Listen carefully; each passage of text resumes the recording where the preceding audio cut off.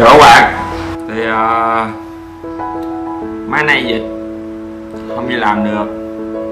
Ở nhà. Đâu ria không à mà không có đi cạo được. Mình cũng mới ngủ dậy thôi chung chưa ăn sáng.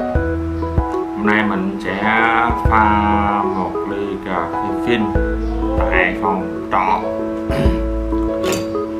Dụng cụ gồm có phin chắc chắn là pha cà phê phin là phải phải có phin rồi phải có cái ly. Ly để đựng cà phê. Và cà phê. Nói chung là mình phải pha cà phê mà không có cà phê thì làm sao mà pha? Ok mình sẽ đây là cà phê. Mình đã chuẩn bị trước à, ký thôi. Ok nhưng mà mình pha một phút thôi. Hôm nay mình sẽ làm video mà pha cà phê cho các bạn đây là nước sôi nước sôi. Bật lên. À, tôi sẽ pha một ly cà phê pha phin chỉ cách của mình thôi. Chứ còn ờ, à, không biết là mấy bạn có cách nào pha ngon hơn hay hơn thì chia sẻ nhé. Còn video này tôi sẽ pha một ly cà phê theo cái gọi là kinh nghiệm chuyên môn của mình thôi. Ok. Rồi chúng ta sẽ cắt uh, cắt cái uh, cà phê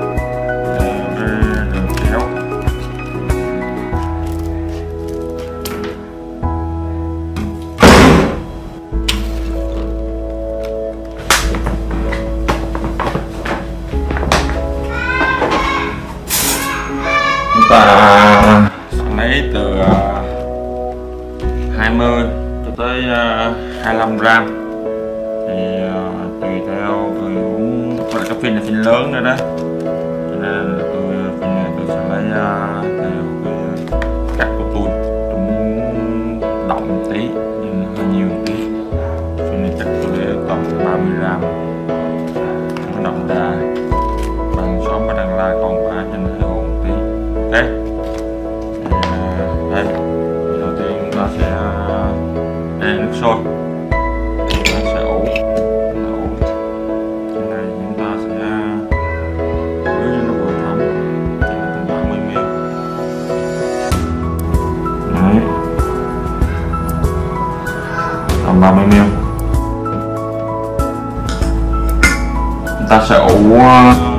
Trong vòng 1 đến 3 phút để cà phê nó, nó, nó thấm á.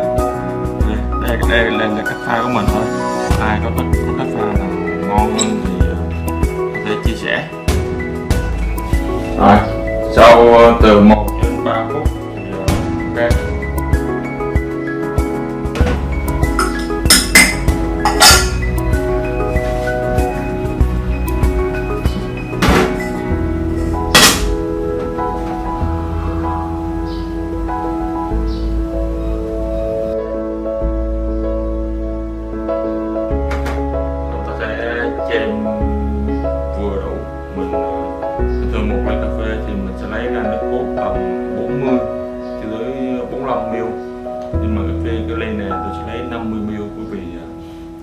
thích uống cà phê tôi sẽ lấy nhiều thôi. Thì tôi thích uống tôi tôi thích uống sao tôi, tôi, tôi, tôi, tôi lấy nhiều đúng không?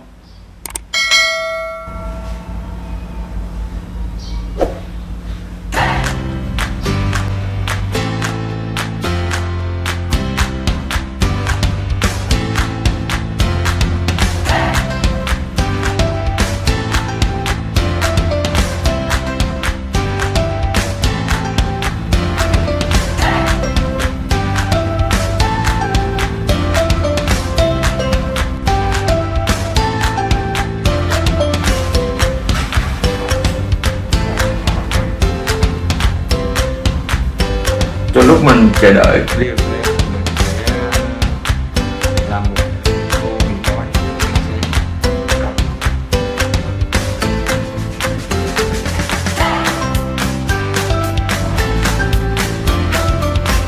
để pha mì gói.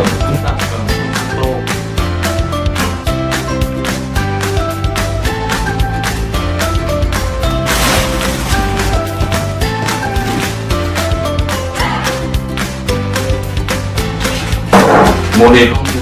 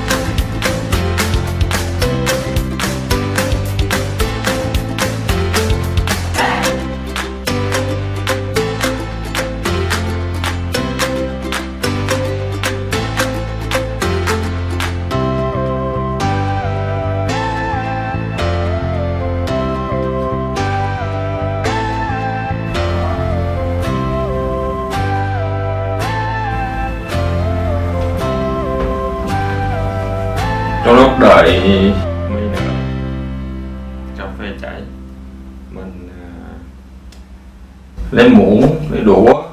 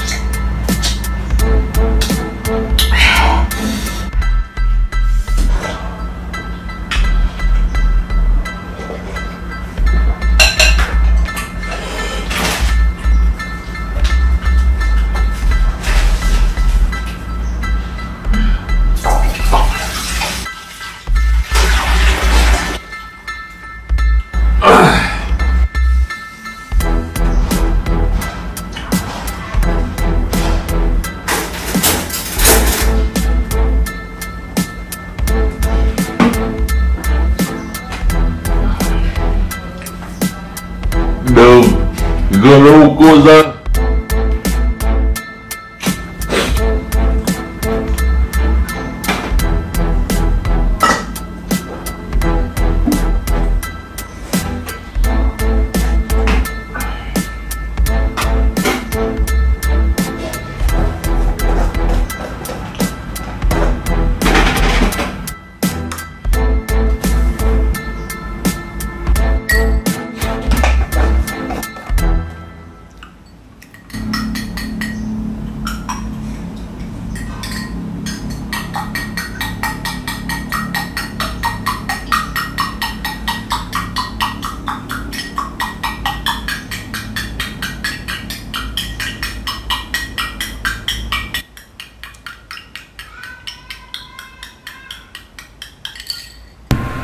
Video xin dừng lại ở đây. À, Các bạn nhớ đăng ký để có mình có động lực để ra những video về sau tốt hơn. À, Cảm ơn các bạn đã theo dõi. Các bạn nhớ đăng ký giúp mình nhé. Ủng hộ mình để mình có động lực để ra những video chất lượng nói chung là chất lượng hơn. À, cái ly cà phê pha không được ngon nè ok thì hy vọng mà các video sau mình sẽ làm tốt hơn. Cảm ơn các bạn đã theo dõi. Cảm ơn các mọi người rất nhiều.